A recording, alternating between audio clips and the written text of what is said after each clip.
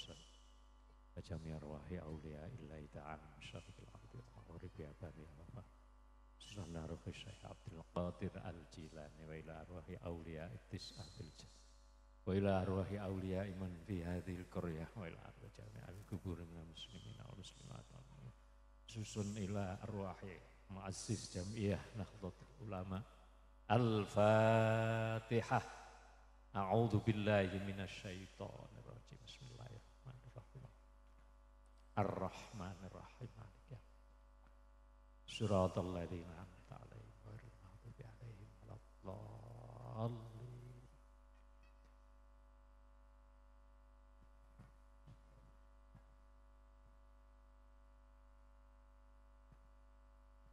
يا ربي صل على محمد يا ربي صل عليه وسلم. يا ربي صل على محمد يا ربي صل عليه وسلم. يا ربي صل على محمد. أشرف بدر في الكون أشرف. يا ربي صل على محمد يا ربي صل عليه وسلم. يا ربي صل على محمد أكرم داع يدعو إلى الحق. يا ربي صل على محمد يا ربي صل عليه وسلم. يا رب صل على محمد المصطفى الصادق المصدق. يا ربي صل على محمد يا ربي صل عليه وسلم. يا رب صل على محمد أحلى الورى منطقا وأسدا يا ربي صل على محمد يا ربي صل عليه وسلم. يا رب صل على محمد أفضل من بالتقى تحقا يا ربي صل على محمد يا ربي صل عليه وسلم. يا رب صل على محمد يا رب صل عليه وسلم. يا ربي صل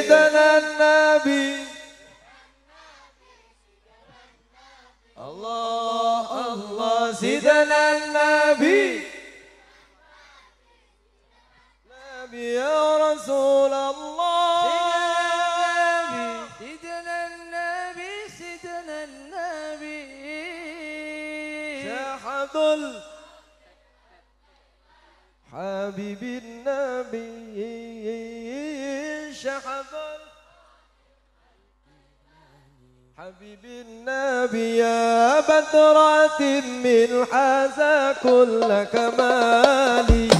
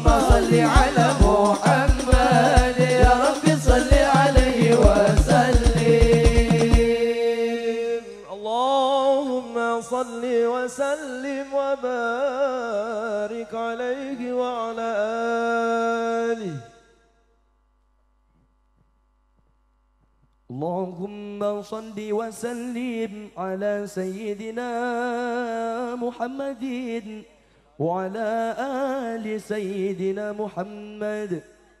أعوذ بالله من الشيطان الرجيم. بسم الله الرحمن الرحيم. إنا فتحنا لك فتحا مبينا. يغفر لك الله ما تقدم من ذنبك وما تأخر وما تأخر ويتم نعمته عليك ويهديك صراطا مستقيما. صلى الله عليه. وينصرك الله نصرا عزيزا. لقد جاءكم رسول من أنفسكم عزيز عليه ما عنتم حريص عليكم بالمؤمنين رؤوف رحيم. صلى الله عليه. فإن تولوا فقل حسبي الله. لا إله إلا هو. عليه توكلت وهو رب العرش العظيم. صلى الله عليه. إن الله وملائكته يصلون على النبي. يا أيها الذين آمنوا صلوا عليه وسلموا تسليما. اللهم صل وسلم. أشرف صلاة والتسليم على سيدنا ونبينا محمد الرؤوف الرحيم اللهم صل وسلم وبارك عليه صلوا على النبي محمد صلوا على النبي محمد Masih tetap semangat ya salawatannya. Alhamdulillah. Hadirin yang dimuliakan Allah dan dicintai Rasulullah Sallallahu Alaihi Wasallam. Sebelum kita lanjut salawatan, mari kita dengarkan dulu sambutan. Sambutan yang akan disampaikan oleh Ketua PCNU, Ketua MWCNU Ujung Pangkah panjenenganipun Gus Nafisul Atok. Alaihi falyatafadhal masyura. Allahumma shalli ala Muhammad.